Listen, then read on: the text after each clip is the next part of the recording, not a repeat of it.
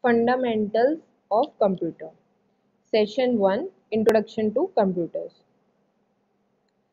A computer is one of the most brilliant invention of mankind. It has now become an integral part of our life. Computers are used as an input-output system for various applications ranging from simple to complex calculations. देखो सबसे अच्छी जो invention है Mankind की उनमें से एक computer है। और आजकल ये now days it's become an integral part मतलब मोस्ट इंपॉर्टेंट पार्ट बन गया है हमारी लाइफ का।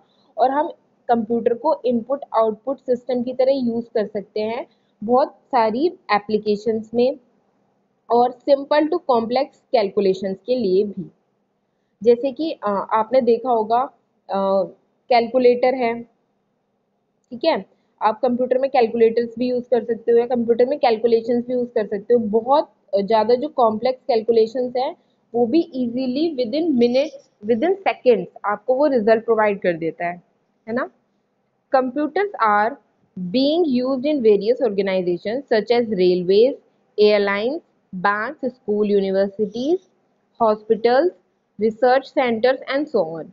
तो अब कंप्यूटर कहाँ कहाँ यूज़ होता है? मैक्सिमम जगह पे कंप्यूटर यूज़ होता है। जैसे कि रेलवेज एयरलाइंस बैंक इन सारी जगह पे कंप्यूटर यूज़ होता है।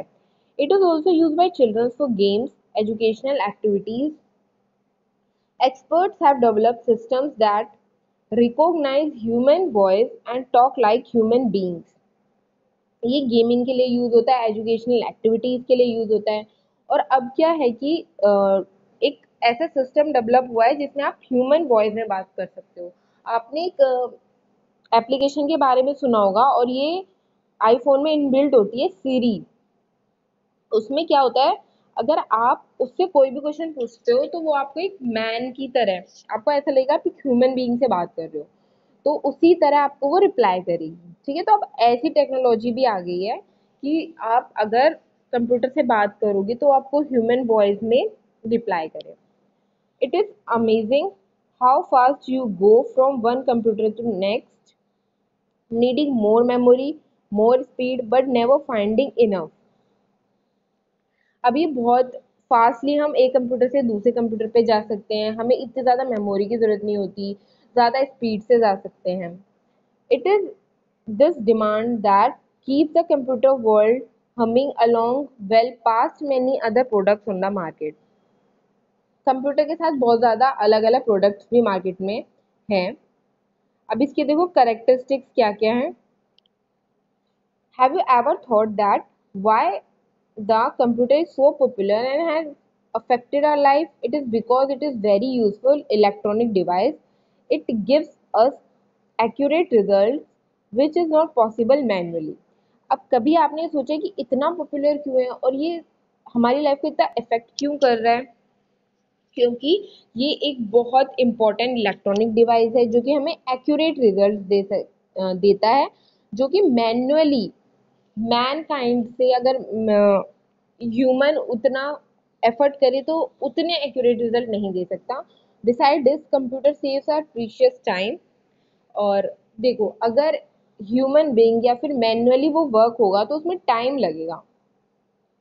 अगर आप कॉम्प्लेक्स कैलकुलेशंस करोगे तो उसमें टाइम लगेगा ना। पर कंप्यूटर क्या करेगा, उसको आपको विद इन सेकेंड दे दे दे देगा। तो आपका टाइम भी बचेगा। Let's learn about it strength and limitation अभी हम उसकी लिमिटेशन स्ट्रेंथ के बारे में पढ़ेंगे। Strength of a computer over the past few years, computers are being used in every sphere of life. Certainly, they are the strength are uh, they are the strength or advantages that is हम बहुत सालों से computer को अपनी life में use कर रहे हैं। तो उसके स्ट्रेंथ और एडवांटेजेस हैं स्पीड सबसे पहला स्पीड हम सबको पता है कि कंप्यूटर की स्पीड बहुत तेज होती है। Computers calculating speed is very fast today's computer can perform hundreds of millions of processing operation in one second. Computer speed is measured in clock cycle hertz. Computer can execute basic operations in few microseconds. तो इसमें ये लिखा है कि जो calculation speed होती है computer की बहुत तेज होती है। और आ, हम बहुत ज़्यादा मिलियंस ऑफ़ इंस्ट्रक्शंस और ऑपरेशंस एक साथ परफॉर्म कर सकते हैं। उनका रिज़ल्ट भी वो विद इन सेकेंड्स दे देगा। और जो मेजर्ड होती है स्पीड कंप्यूटर की वो होती है हर्ट्स में। ठीक है? Next is reliability Modern computers are reliable. They are never tired or bored. They can run day in and day out for years without failure. Thus, in comparison to human being, they are more reliable. अब देखो एक अगर एक human being है ठीक है अगर उसने छः घंटे काम किया तो वो टायर्ड हो जाएगा थक जाएगा हो सकता है वो बोर हो जाए अपने काम से पर जो कंप्यूटर्स हैं आप उन्हें दिन रात काम पे लगा सकते हो और वो बोर भी नहीं होंगे, थकेंगे भी नहीं, ठीक है? तो इसलिए वो ज़्यादा रिलायबल होते हैं। Now next is accuracy the computer never make mistakes computer mistakes नहीं करते। They are always correct and accurate they make mistake due to faulty program और if input data is not correct देखो computer कभी भी आपको inaccurate result नहीं देंगे। Inaccurate result तभी आएगा जब आपने उसे गलत इनपुट दिया हो, या फिर आपने जो प्रोग्राम बनाया है वो सही हो, ठीक है? Next is massive storage capacity उसमें बहुत ज़्यादा स्टोरेज कैपेसिटी होती है। Computers can store very high volume of data personal computer disk is capable to store more than one billion characters और numbers With this storage capacity, an English dictionary, a 32 volume encyclopedia, many computers program, and with your all work from nursery to graduate can be stored. Even then, there will be space to store some more data. देखो massive का मतलब होता है बहुत सारा huge ठीक है अब इसमें ये बताया हुआ है कि हम उसमें ना मिलियंस ऑफ़ कैरेक्टर स्टोर कर सकते हैं। अब जैसे कि आपका, जब आपने नर्सरी क्लास में एडमिशन लिया और उसके बाद आपका जब आप ग्रेजुएट भी हुए, उतना डेटा वो स्टोर कर सकता है आपकी उतनी इन्फॉर्मेशन बल्कि आपकी नहीं, आपके साथ जो हैं, आपके क्लासमेट उन सब की इन्फॉर्मेशन वो स्टोर करके रख सकता है।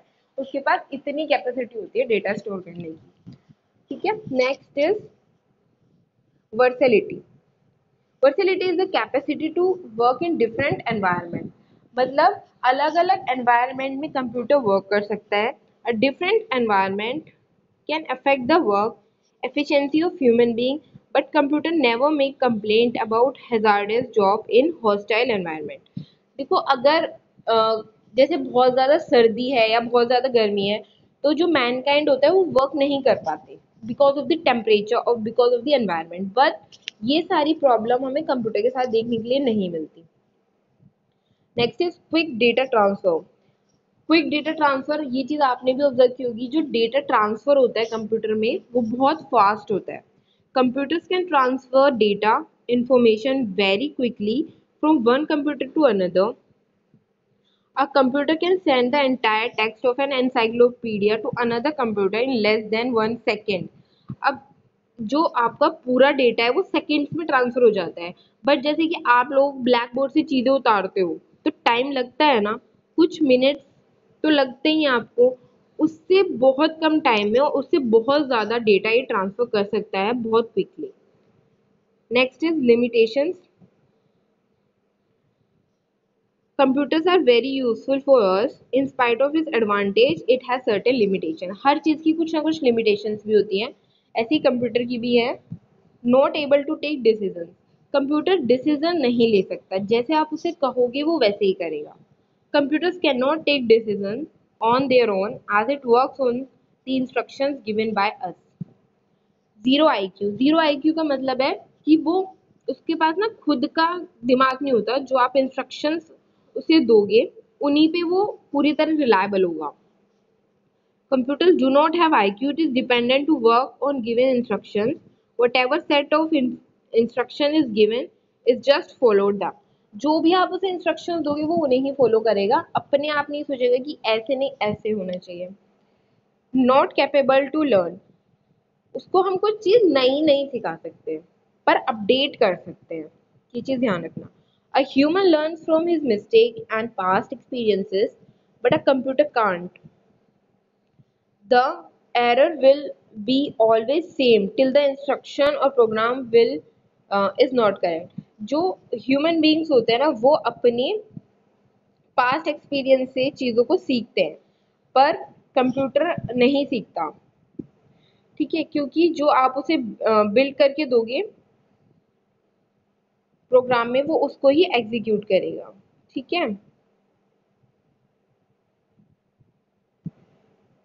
तो ये उसकी कुछ एडवांटेजेस हैं और डिसएडवांटेजेस हैं।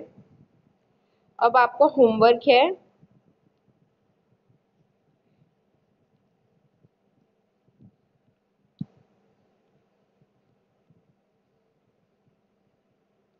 Various advantage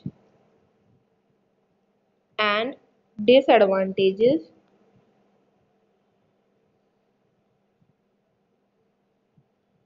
of computer